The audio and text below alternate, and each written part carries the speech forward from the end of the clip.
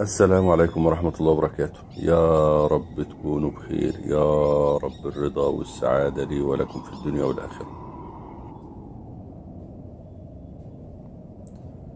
الجبال والصخور والطرق الصحراوية المتعة والحرية. إحساس رائع لما الواحد بيطلع على هذه الطريق على هذه الطرق. الناس اللي بتسافر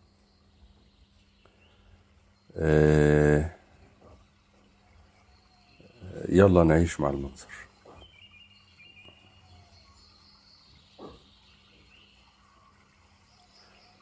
الصورة على اليمين فوق اهيت اللي إحنا شغالين منها. طريق في صحراء مرتفعات ومنخفضات والصخور اللي شكلتها الطبيعة الصخور الرائعة. آه، المتعة والهدوء. بنحدد ملامح الصخور اللي اللي قدام حضراتكم اللي فوق دي علشان هنملى بالألوان دلوقتي بطريقة سهلة ويسيرة. مع التركيز معانا إن شاء الله نستفيد. بنخطط خطوطنا بمفهوم النسبة والتناسب وبعد كده بنملى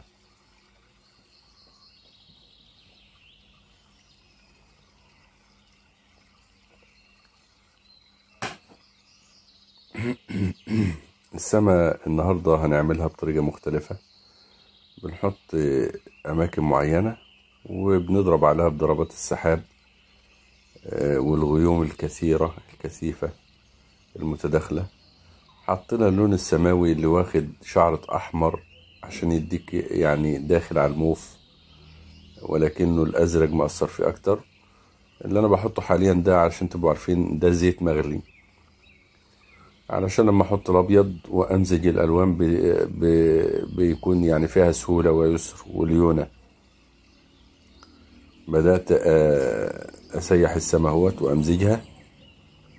آه، وهبدأ أضرب ضربات سحاب بسيطة وسريعة ورائعة. طريقة سهلة للسماء ونتيجة جميلة جدا. ضربت ضربات خفيفة زي ما انت شفت متفرقة. وهبدأ أحط بالإيه؟ بالأبيض أهوت. هجرب الكاميرا وأبطأ عشان نشوف شكل السحابة وجمالها. شغل عشوائي أهو.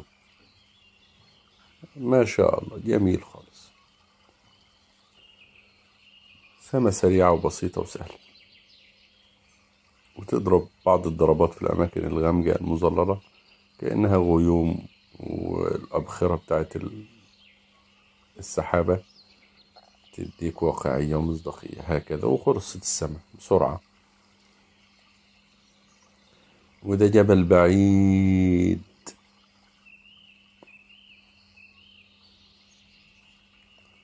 الجبال البعيدة وجمالها نشوف آه، تفاصيل الجبل بالراحة. بنفتحه باللون البرتقالي الخفيف آه، صحا وألوان حارة. وإحنا داخلين بنغمق أكتر حطينا أساس الجبل اللي هو الأقرب شوية موف. غامق شوية.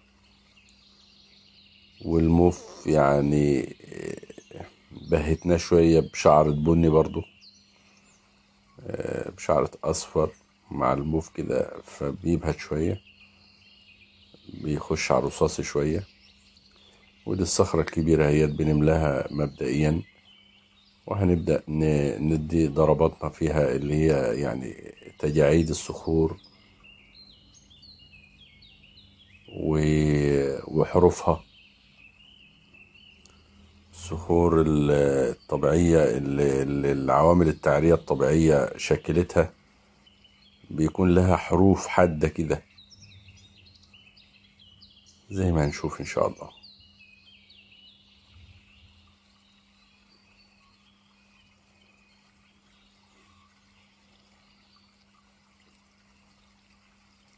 بنحط ال- الأماكن ال- العميقة في الصخرة.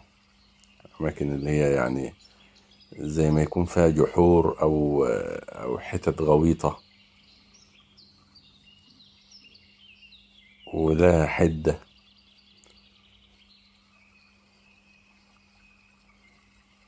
طبعا الشمس بتاعتنا تقريبا جاية من فوق بالظبط من من يم الشمال شوية آه، يعني بعد الظهر بحاجات بسيطة.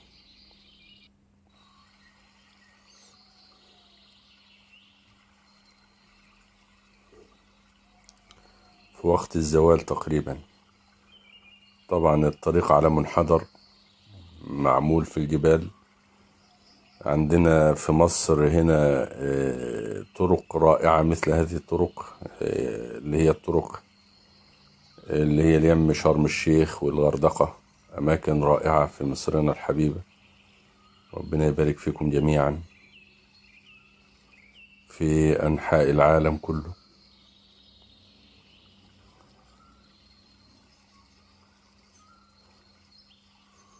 الناس اللي بتسافر في الطرق الصحراوية ما شاء الله هيشعروا بال... بال... بالمنظر ده.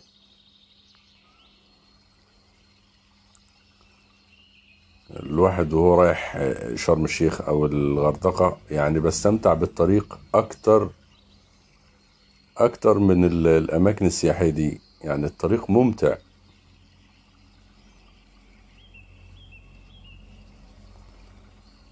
شفت الحتة الرفيعة وتخنت؟ إيه إيه اللي خلى دي تخينة وإيه اللي خلى دي رفيعة؟ هنعرف الكلام ده من خلال دراسة النظرات وأنواعها.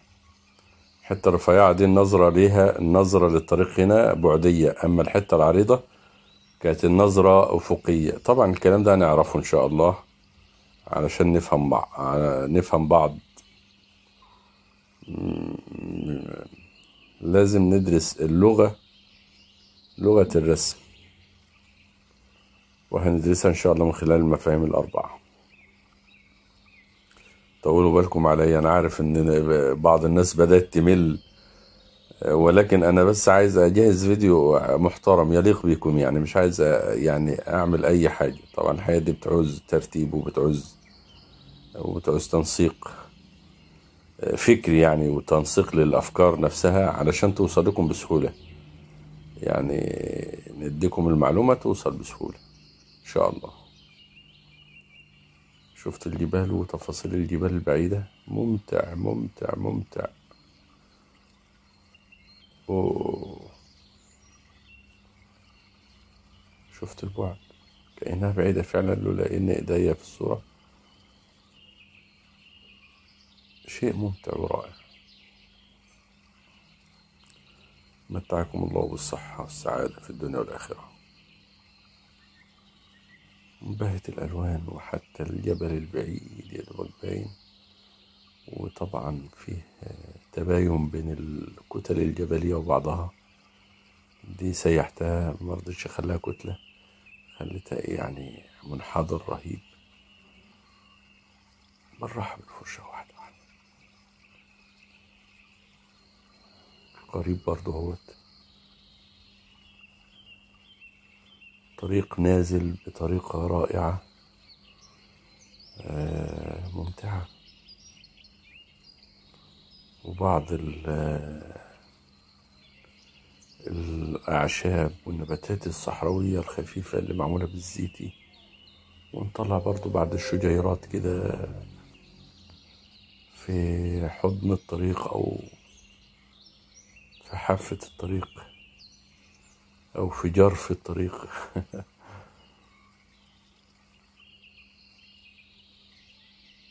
خد بالك من الحتة اللي أنا بعملها دي؟ ده ظل الصخرة اللي فوق. أما بقية الأسفلت أو الطريق فاتح إزاي؟ وطبعا لما نعمل الظل اللي تحت الصخرة هينزل مع ده كمان هيديك مصداقية أكتر. واحدة واحدة. آه، ممتع.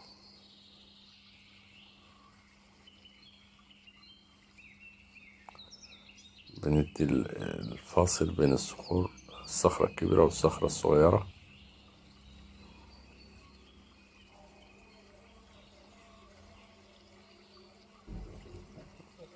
في أماكن عميقة في الصخرة وأماكن بارزة. البارز هيطول الضوء والنور والشمس. والعميق شفت الظل؟ بحد الظل إزاي؟ ده المكان المظلل لو سبت ال- ال- الحتة اللي هناك فاتحة إزاي لسه نادرة لون فاتح فكأن الضوء من هنا الضوء طبعا من على الشمال فوق الصخرة تقريبا في وقت الزوال يعني بعد ما زالت الشمس عن منتصف السماء بشوية بقى الأشياء لها ظل. الحروف بتاعت الصخور وال... وال... والحروف الحادة. صخور من آلاف السنين. ف عوامل التعرية خلت فيها حروف وبروز وصخور. يعني الصخور لها فلسفة معينة لازم تكون حادة كده وإحنا شغالين غير المية وغير الرملة. كلها أماكن حادة زي ما أنتم شايفين أهوت. نبدأ نحمر الألوان شوية وندي لها اللون البرتقالي اللي فيه الحمار والبني. إيه، حرارة لأن دي صحراء. صخور فيها بعض ال- الضربات.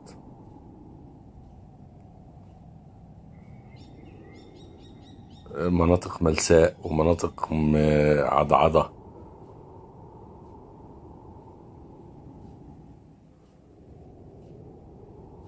آه، والحراشة بتاعت الصخور والرجات اللي إحنا بنشوفها. طبعا أنا برسم من صورة صورة طبيعية.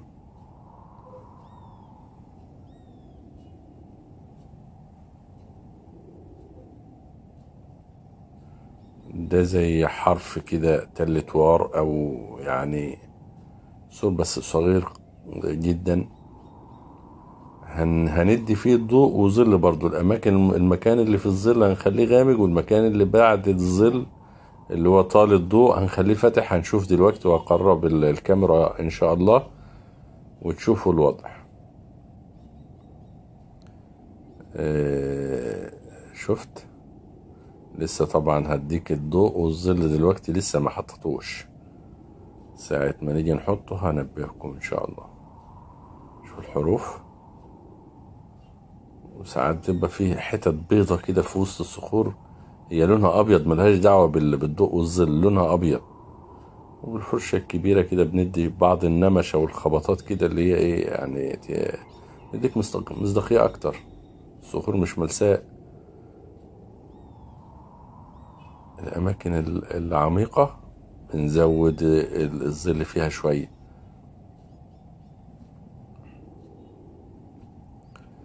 الرسم ده يعني من الأشياء الممتعة. لو أنت اتقنته و- وبدأت تنفذ الأشياء اللي أنت بتحبها بغض النظر عن المادة والمكاسب هو يعني بيخليك تحس إحساس ممتع بصراحة.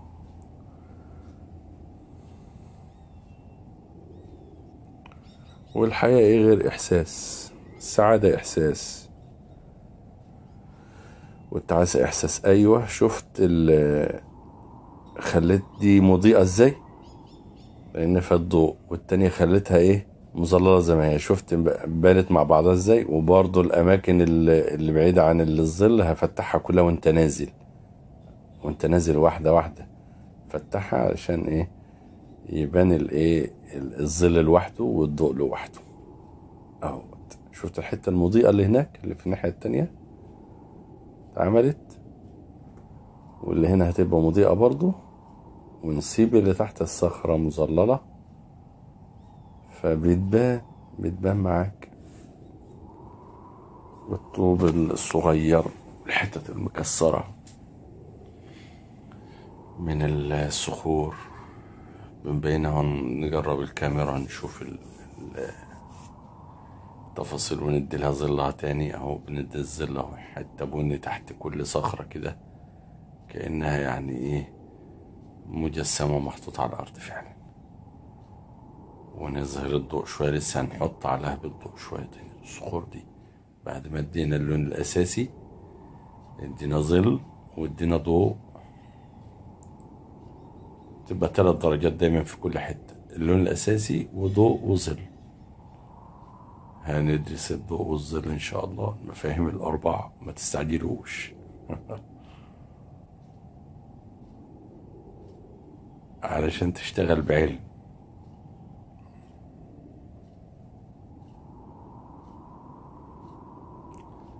دعواتكم لنا بالتيسير. اللهم لا سهل إلا ما جعلته سهلا وأنت تجعل الحزن إن شئت سهلا.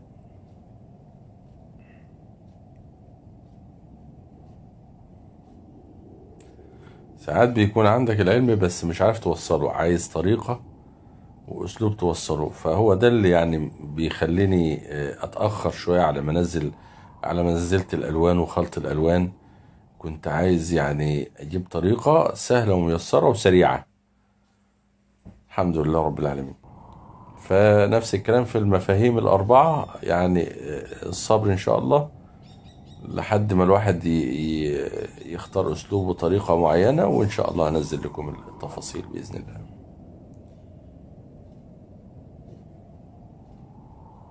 أهو بنح... بن... بن... بنحرش المكان أهوت وندي حتت آه، حتت متباينة لأن طبعا طبيعة والعشوائية موجودة فلازم يكون كده طبعا.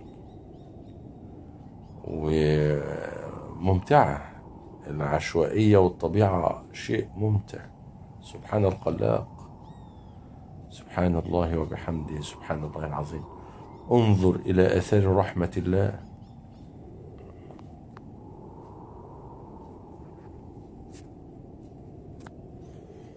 أفي الله شك فاطر السماوات والأرض. سبحانه وتعالى لا إله إلا الله.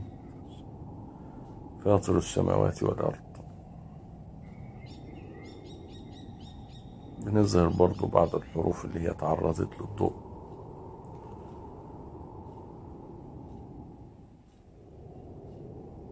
الحروف البعيدة برضو بتاعت اللي هي جنب الطريق.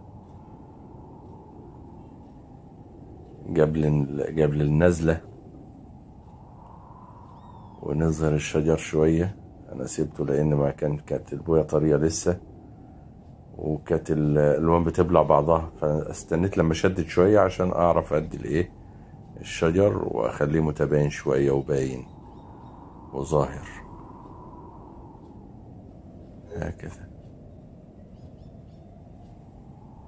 حرف الفرشة الصغيرة. كل ما كانت الأشياء بعيدة تستعمل فرشة صغيرة عشان ما تتعبكش.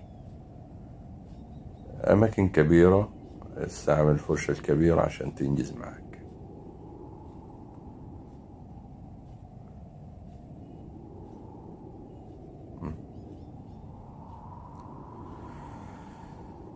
سبحان الله وبحمده سبحان الله العظيم. اللهم صل وسلم وبارك على عبدك ونبيك محمد صلى الله عليه وسلم. الرحمة المهداة.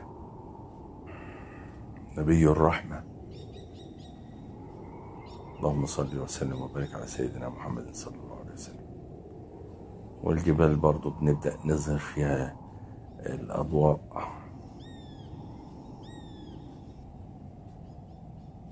هكذا ما دخلتش لجوه لأن ال- ال- اللي جوه التاني ده بعد الحرف ده يعتبر ظل لأن قمة الجبل عملت ظل عليه. والخط اللي بيكون في نص الأسفلت أهو بنعمله برضه. ولاحظ إن أنا بعمل ده فتح أهوت أما اللي في الظل هنخليه غامق شوية يعني إيه؟ مش هن مش هنفتحه هنحط عليه أبيض برضه بس أبيض أفتح أغمق شوية. عشان يعني كأنه في الظل. هنا.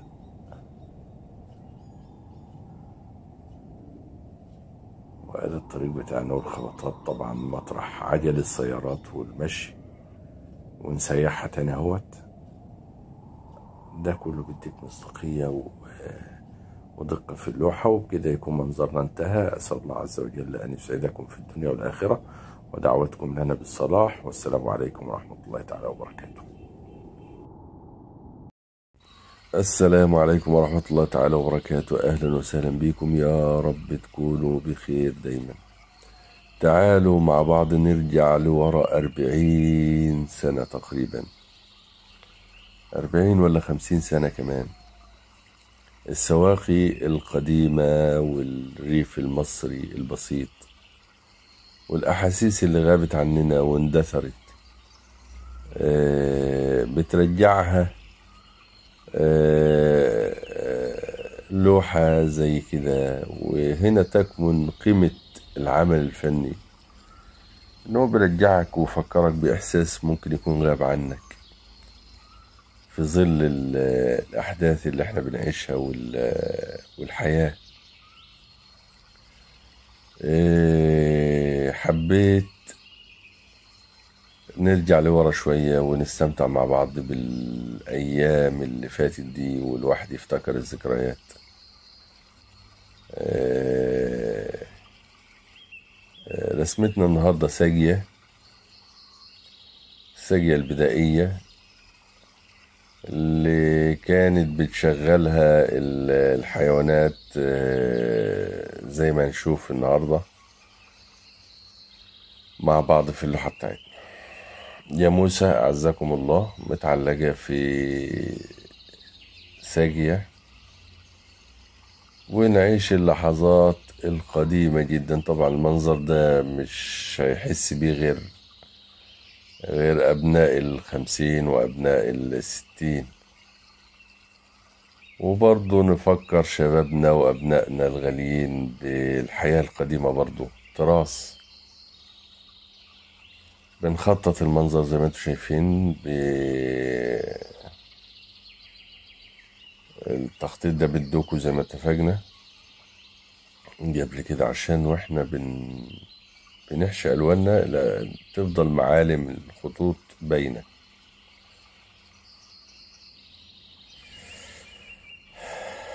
اللهم لا سهل إلا ما جعلته سهلا وأنت تجعل الحزن إن شئت سهلا.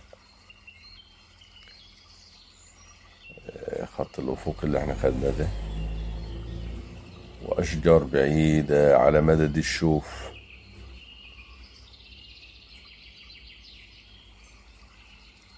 هتتعمل بألوان برضو هادية وإحنا جايين واحدة واحدة. آه، نكمل منظرنا السماء باللون الأزرق اللي عليه قليل من الأحمر والأبيض.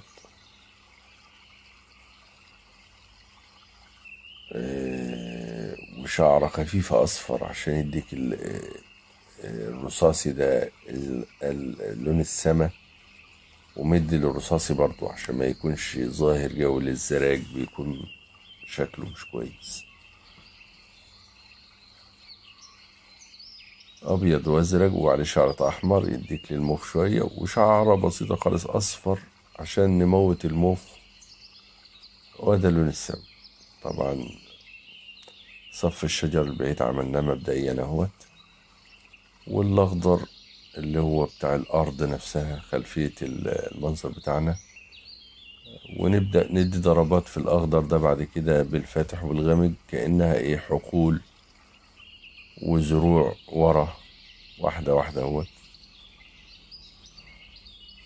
وورا كده مصارف ومتقسمة ل- لقطع. بالضربات دي بن... كأن كأنها طبيعة. يعني بتوحي للناظر هذا الذي نراه في الحقيقة. وفي الجرايد بندي ضربات فاتحة شوية الإضاءة عليها وباينة وكل ما بنبعد اللون بيبهت واحدة واحدة بضبابية. علشان يديك البعد الحقيقي. والبعيد ما فسرناش فيه جامد وما عملناش فيه تباين يا دوبك خيالات بعيدة كده.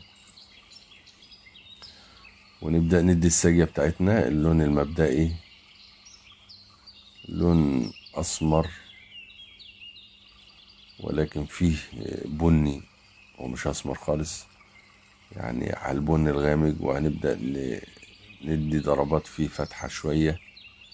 لون الساقية القديمة والصدى بتاع الصاج اللي هي معمولة منه.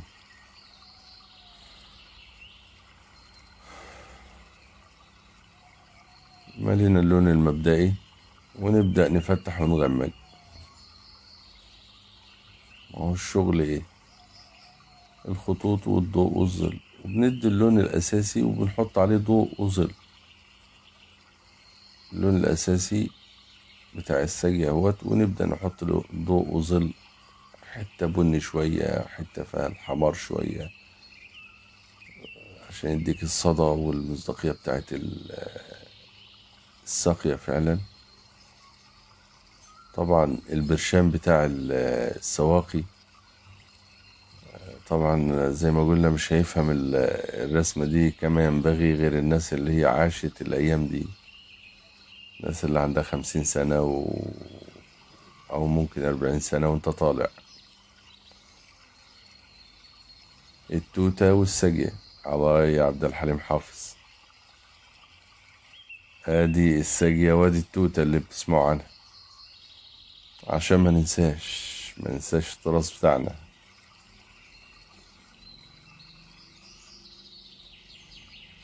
آه. أحاسيس جميلة وبريئة كنا بنعيشها في الأيام ديت. يمكن لوحة زي دي بتفكرنا بالأحاسيس دي وهنا تكمن قيمة اللوحة الفنية أو العمل الفني سواء كان أغنية أو موسيقى مع إني طبعا الأغاني والموسيقى بالنسبة لي يعني آه، فيها كلام وفيها يعني من ناحية الحلال والحرام. إلا إن فعلا الأعمال دي بتفكرك بأحاسيس معينة ممكن تكون غابت عننا في ظل الأحداث والحياة. الواحد يفتكر آه، اللحظات دي لما بيسمع الأغنية اللي كان بيسمعها أياميها أو تتر في مسلسل معين أو لوحة زي كده وهنا تكمن قيمة العمل الفني. بتشوف حاجة معينة بتفكرك بإحساس أنت كنت عايشه ولكن غاب عنك وتاه منك في ظل الأحداث. فلما لما بتلاقي الحاجة اللي بتفكرك ده بتحس بإحساس حلو.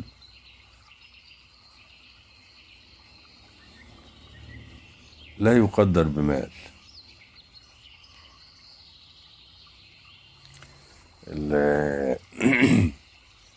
الشجرة بنحط الظل. طبعا الإضاءة في المنظر ده جاي من على اليمين. وكل الظلال تكون على الشمال.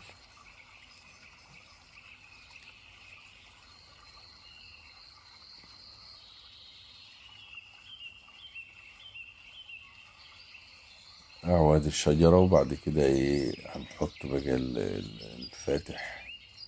اللون ال- الأخضر بتاع الورق وفيه البني الأوراق الناشفة بتاعت التوتة. يعني أوراق اصفرت ونشفت ودبلت بقت بني بصفار كده وأوراق لسه فيها الخضار. وجذع التوتة التخين الكبير. ونزل الإضاءة واحدة واحدة من على الإيه من على اليمين.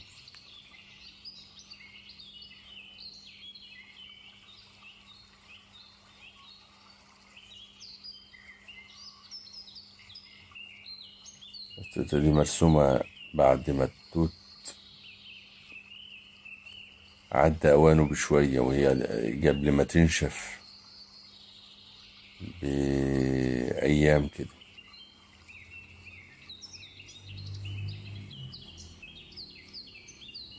وهذا نخش بالألوان الخضراء والصفراء والبني في الورق ونطلع بعض الفروع الرفيعة العشوائية. اللي راح يمين وراح شمال بطريقة عشوائية زي ما بنشوف في الحقيقة.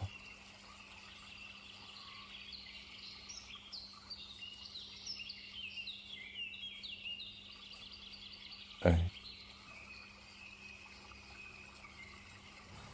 اللهم لا علم لنا إلا ما علمتنا إنك أنت العليم الحكيم.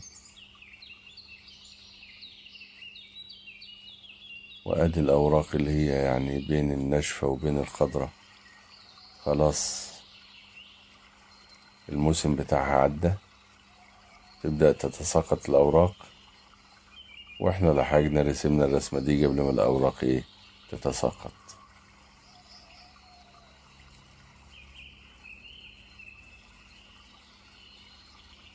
عالتوتة والسجيع بعض الأوراق اللي وقع تحت الشجرة. وده حتة الشجرة اللي شفت ال- الجاموسة أعزكم الله ومتغمية. كان كنا بنغميها زمان كده علشان تلف وما تدوخش. تلف بالساجة وما تدوخش. تدور بالساجة آه، ساعة ولا ولا ساعة ونص ما تدوخش. تلف والساجة تلف. وده البير بتاع الساجة محطوط حواليه ال- قطع الطوب الجيري الأبيض ده بتاع زمان. والمدار بتاع الساجة هو اللي بتلف عليه الايه الجاموسة أو البقرة اللي إيه اللي متعلقة في الساجة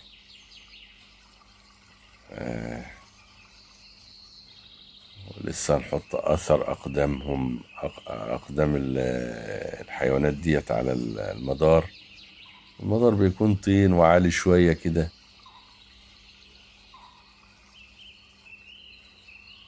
زي ما إحنا شايفين كده بصراحة.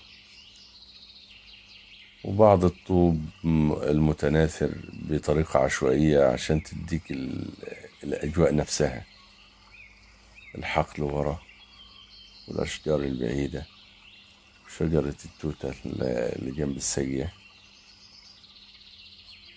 آه ما شاء الله.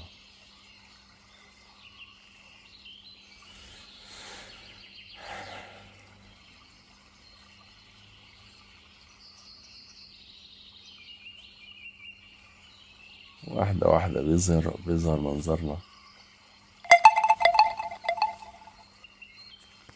بفضل الله.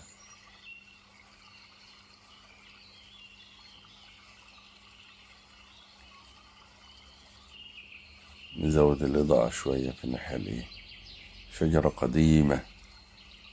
يعني الجذع بتاعها بقى لون التراب لون الرصاصي. قديمة جدا. وطالعة برضو بعشوائيتها وفروعها العشوائية برضو. اللي إحنا بنعمله حاليا الفاتح ده كأن الأماكن المضيئة بين الورق دي حتت السما بانت منها. هكذا.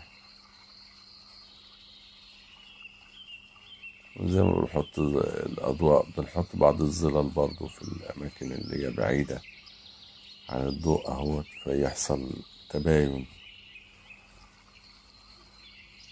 إضاءة إضاءة للأحجار ال-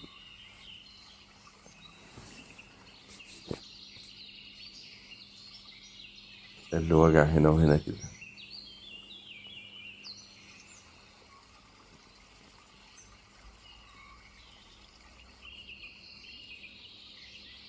طبعا ال- الجاموسة اللي أنا راسمها دي راسمها الحمد لله هي متغمية أصلا إنما صورة الرأس مش باينة ملامحها.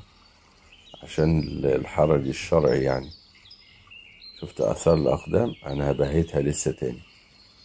واحدة واحدة كده وهمسحها علشان تبقى تدوبك تبقى باينة كده. أيوة هكذا. جرب الكاميرا ونشوف. تلاقيها بهتت ولسه هديلها إضاءة برضو خفيفة. أيوة أهي عشان تبان كأن عالي وواطي بس على الهادي على الخفيف لأنها اندكت من كتر المشي. فيدوبك الملامح باينة خفيف. هنمسحها تاني أهوت عشان ما يبقاش فيها تباين عالي كده لأن الأرض دي متكوكة مش طرية للدرجة اللي هي تغوص فيها كده لأ. ونمسحها تاني في الناحية التانية يم الضوء. عكس المسحة الأولانية فتبان كأنها إيه اهي اهي ده يا دوبك باينة حاجات بسيطة. على المدار بتاع السجن. وبعض الملامح البسيطة لل- للأشياء العشوائية اللي حوالينا. أعواد أوراق. فتديك ال- التفاصيل دي بتديك روح للمنظر بتاعك وجمال ما شاء الله.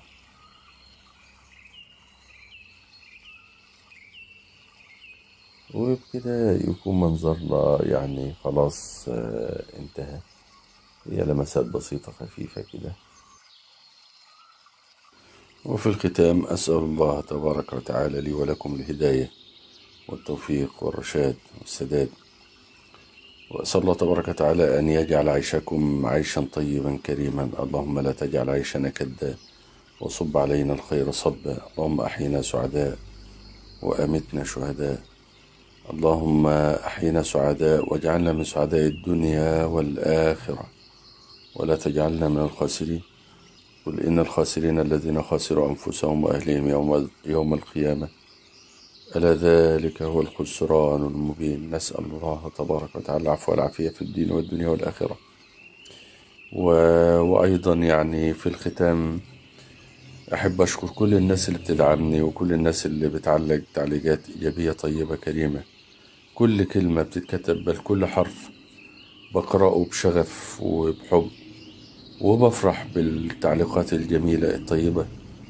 وبسأل ربنا سبحانه وتعالى وبدعي له إن ربنا يسعدكم زي ما بتسعدوا الناس وربنا يستر عليكم في الدنيا والآخرة. وأسأل الله تبارك وتعالى آه، لكم البركة والخير في كل شيء وأن يكفيكم كل الشرور وأن ييسر لكم الحياة وأن يهديكم إلى الخير وإلى البر.